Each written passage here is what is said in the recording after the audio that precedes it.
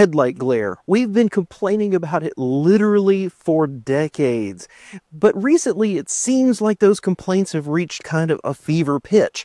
It does beg the question is headlight glare really and objectively worse? If so, why? Or is this all just a disaffected few venting on social media? Well, today we're going to dig into it. So, welcome back to All Cars, y'all. If you're new here, my name is Jon, and come with me on a trip into the fascinating world of headlight glare. Automakers and regulators have had to walk a fine line between headlights being bright enough to illuminate for the driver, but not a nuisance or a danger to other drivers. And it's not just an academic exercise. Statistics show that while we do only about 25% of our driving at night, 50% of traffic deaths happen in the dark. I've done a whole video on the history of headlights, and that's worth a watch, but we need to do a quick refresher here to kind of set the stage for this discussion. Once cars started moving from acetylene to electric, and by the 1920s, the Bilux bulb combining both high and low beams was introduced, and in 1940, the 7 inch round sealed beam headlight was made mandatory in the US, essentially freezing our lighting technology. Every car was required to have just two of these, no more and no less. But in 1957, the law changed, allowing for four smaller, five and three quarter inch round sealed beams.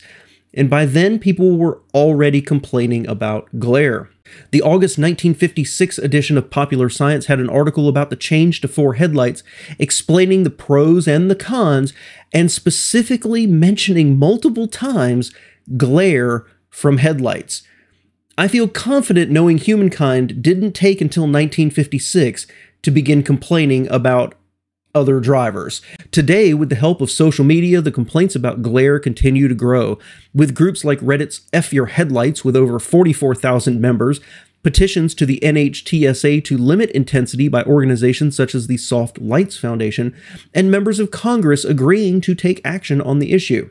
But there's three general reasons I've identified that glare both appears to be a bigger issue today, but they're actually probably not what you're thinking. First, it's not simply the brightness or the intensity of the lights. While this is certainly part of it, it does not tell a complete story. In 1962, the first halogen lights for cars, the H1, was introduced. And of course, it was illegal in the US. At the time, European regulations allowed 140,000 candela per side, but in the US, it was limited to just 37,500, or less than one third of what Europe allowed. Which brings up the question what is a candela? Well, because this is not a scientific channel, and we're not going to do a scientific breakdown of it, the best thing to say is let's just assume it's the intensity of the light.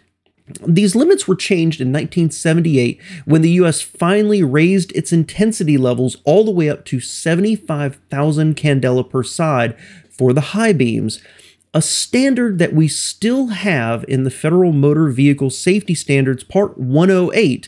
But in the EU, those regulations have now been raised all the way up to 430,000 candela per car.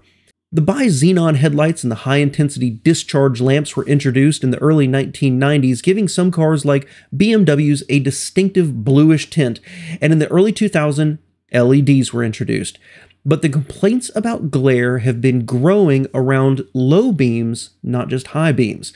A look at table XIX-A from that Part 108 standards shows various test points for light intensity allowed for low beams. And looking in the far right column at maximum intensity, there are only six spots where it's necessary to test, with all others essentially being infinite light allowed. Journalist Jason Cammisa with Hagerty got on the Carmudgeon show and discussed that automakers will design the lights to hit the standards only in those exact points that are being measured, with massive overlighting everywhere else and he's calling it Lighting Gate. So, with little regulatory input from the NHTSA, the Insurance Institute for Highway Safety began testing headlights, rating them as poor, marginal, acceptable, and good, where essentially good is just brighter.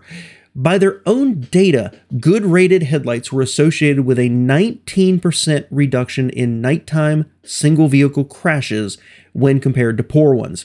Shockingly, for those who believe glare is only getting worse, the IIHS points out that they do evaluate for glare and that the amount of glare has been decreasing since 2016. The biggest factor they found in causing glare misaimed headlights, not the brightness.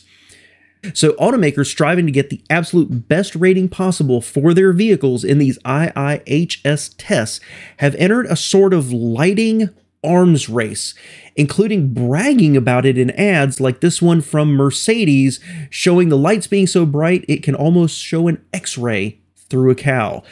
And it should be noted that this is not just a US problem.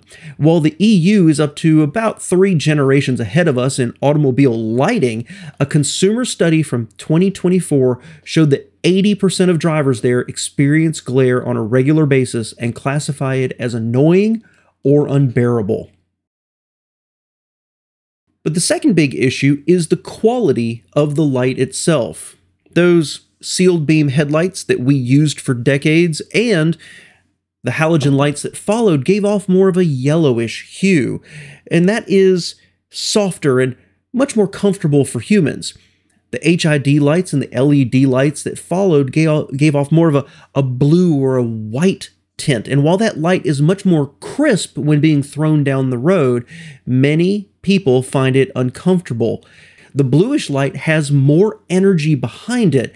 And with more energy hitting your retina, you can literally feel fatigue or find yourself squinting against it, even if it's not objectively that bright. Perhaps even more important is flicker. LEDs are incredibly energy efficient, and they use what's called pulse width modulation to dim the lights, essentially turning individual LEDs off very quickly. And poor comparison would be to think about those old fluorescent bulbs you'd have up in the ceiling where they just flickered a little bit. While for high quality LEDs, you may not be able to detect it, and at some lower frequencies, you may be able to catch it out of the corner of your eye or when the car is moving, as cars tend to do. And some people are very susceptible to this flicker, but even if you're not noticing it consciously, it's still wearing you down. It's especially noticeable when the car is running with its daytime running lights because, by their definition, they're running at a lower power. But perhaps the most insidious problem is the height of the lights with the US and sometimes Europe having ever higher SUVs and sport utility vehicles, they have to set standards on how high those lights can be mounted. In the US, both the upper and lower beam headlights have to be a minimum of 22 inches, but no more than 54 inches. But the trick comes in how they're aligned. To set the alignment, the vehicle is pulled about 25 feet from the wall you find the center point height, which is a little circular mark on the lens of your light, and you measure it. If you are 36 inches or less, you use that measurement and mark it on a wall. But if it's over 36 inches, you set that point on the wall two inches lower than your optical center on the lens. Now, the lights are adjusted so that your cutoff level is at that height. But stop and think about that for a minute. If you have a truck that has the maximum height of 54 inches, they're going to set that cutoff line at 52 inches per the SAE regulations around aiming headlights. Well, in my car, the headrest, the top of the headrest, is about 52 to 54 inches tall which means that any truck is going to be shining directly into my eyes, even if the headlights are adjusted absolutely correctly. LEDs allow for precise aiming of each individual light, and adaptive beams can actually turn off or aim the LEDs to avoid oncoming drivers, to put them in shadow, or highlight the edges of the road and that spares other drivers from dazzling glare. And while the EU has had adaptive systems since 2009, the US just changed their regulations in 2022, but they're poorly written and they're somewhat contradictory with each other. And the automakers have basically been avoiding the systems because they can't meet these contradictory standards. The science is clear that more light leads to less accidents, at least for single drivers, but the data doesn't exist for accidents where the driver was blinded by an oncoming vehicle. I can't find anything because I believe that there's many cases where a driver has an accident because they were blinded. The other driver that blinded them is just totally oblivious and continued on down the road. So the only data that could be dug up is largely subjective after the fact in a police report. And nobody's compiled that and tried to do an actual study to show when an accident occurred because the other person was blinded, not whether you could see down the road better because you had more powerful headlights. And it's telling that while the EU drivers complain, their standards are nearly two times the US's, but we're the ones making the most noise about it. And the solution, well, it's multiple things. Standards around the aiming of the light, especially for trucks and SUVs, more down and less into the eyes of drivers. Standards around the color or the coolness of the light, moving away from bluish or white tints. Heck, even the French use yellow lights for decades. And studies showed always a small decrease in glare and eye tiredness when using them. Also, the US could go ahead and jump into the late 20th century with some adaptive beam technology and writing codes that actually matter, and states stepping up and actually requiring headlight aim during safety inspections. Not everyone does an inspection, and not everyone checks the aim on the headlights. This is a simple thing that typically requires an adjustment and no real cost, and improves the safety of everyone else around them. But opponents of glare and harsh lighting feel that adaptive driving beams are only a band aid for the problem, that the actual problem is the color of the light, the intensity of the light, the aiming of the light. The adaptive beams are just kind of a panacea for a bigger issue. But I do believe they are the future. So, in conclusion, is glare a problem? Well, kind of depends on who you ask. Many drivers, myself included, have been blinded while driving by lights that were overbright or misaimed or far too high. And it seems to be multiple things that are going to have to be done to try to fix it. And sadly, although people are making noise and congressmen have said, well, we need to do something about this and encouraging the NHTSA to revise and modernize their regulations, the fact is the data doesn't show glare being a problem.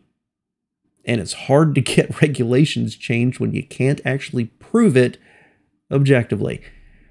Thanks so much for being here, y'all. I really appreciate it. And if you enjoyed this, please consider giving it a like. If you really loved it and you think I earned it, please consider subscribing to the channel and see more videos just like this. And of course, once again, many thanks to my patrons whose support help make these silly videos totally possible. Thanks for being here, y'all.